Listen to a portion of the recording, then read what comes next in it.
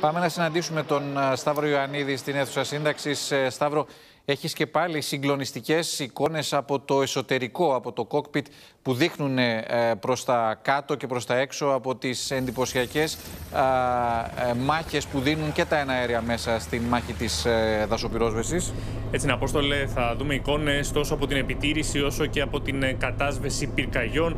Εδώ βλέπουμε τους, τα στελέχη των ενόπλων δυνάμεων του στρατού Ξηράς με τα ελικόπτερα Χιούι και τα Chinook, όπου πραγματοποιούν πτήσεις πάνω από τις φλεγόμενε περιοχές, πτήσεις προκειμένου να εντοπίσουν αναζωπηρώσει, αλλά και πτήσεις για να κατασβέσουν τα ενεργά μέτωπα.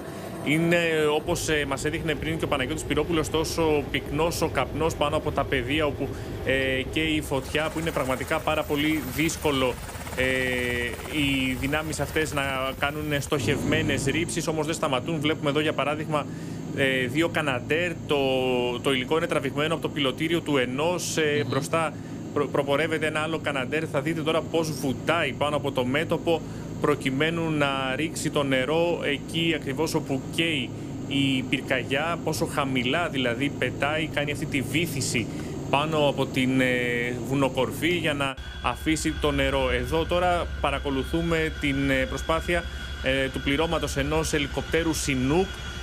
Βλέπετε πλησιάζει, τις, πλησιάζει τη φωτιά από πάρα πολύ χαμηλό ύψος, θα μπει μέσα στον καπνό προκειμένου να ρίξει με αυτόν τον κουβά που διαθέτει όσο το δυνατόν περισσότερο νερό πάνω στη φωτιά. Βλέπετε πώς πλησιάζει ουσιαστικά και η ορατότητα. Και σε μηδενικής ορατότητας, Σταύρο. Ναι, είναι, είναι πραγματικά εντυπωσιακό αυτό το οποίο κάνουν οι πιλότοι της Και εδώ ένα Καναντέρ, Απόστολε, ένα Καναντέρ CL415, η νεότερη γενιά των ε, Καναντέρ που διαθέτει πολεμική αεροπορία. Θα δείτε επίσης την βήθηση του αεροσκάφους όσο χαμηλά θα κατέβει προκειμένου να ρίξει νερό πάνω από αυτή την αιστεία. Και αμέσως μετά τη βήθηση σηκώνεται ξανά ψηλά. Έτσι, διότι οι συνθήκες όπως καταλαβαίνουμε είναι δύσκολες. Ε, εδώ μια ε, υδροληψία, ένα Καναντέρ 415 το οποίο ε, χαμηλώνει για να πάρει νερό, να γεμίσει τις δεξαμενές του και να επιστρέψει ε, αμέσως μετά στο μέτωπο, μπροστά του και ένα άλλο αεροσκάφος. Ε, πολύ χαρακτηριστικά αυτά τα πλάνα, την προσπάθεια που καταβάλουν οι πιλότοι των ε, υπτάμενων μέσων για να ε, κάνουν αυτό που όλοι περιμένουν, δηλαδή να αντιμετωπίσουν από αέρος τα πύρινα μέτωπα. Ε, και... η διαδικασία της υδροληψίας ε, διαρκεί αρκετό χρονικό διάστημα ε, και στην ουσία το αεροπλάνο προσταλασσώνεται για μερικά δευτερόλεπτα και αμέσως μετά ξανασηκώνεται. Και πρέπει να βρει και κατάλληλο σημείο, Απόστολε, για να κάνει την υδροληψία, διότι δεν πρέπει να υπάρχει έντονος κυματισμό, πρέπει να ευνοούν οι συνθήκες. Άρα μπορεί να χρειαστεί ε, αρκετή ώρα μέχρι να εντοπιστεί αυτό το σημείο για να πάει ναι. να γεμίσει τις δεξαμενές του.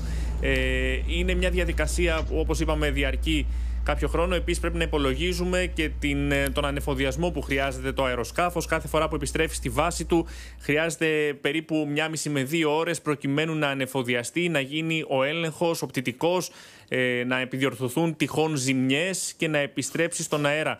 Κάθε ένα από τα αεροσκάφη, ε, όπως γνωρίζουμε, από το πρώτο μέχρι το τελευταίο φως, όσο διαρκεί δηλαδή η αποστολή του, επιστρέφει περίπου τρεις φορές στην βάση του. Οπότε εκεί πρέπει να υπολογίζουμε μία μισή με δύο ώρες κάθε φορά που επιστρέφει μέχρι να ξαναπετάξει και βέβαια η βραδινή συντήρηση μετά, όπου ε, εκεί όπως ε, έχουμε ξαναπεί γίνεται ένας μαραθώνιος προκειμένου ε, τα μέσα αυτά να είναι έτοιμα με το πρώτο φως να απογειωθούν και πάλι.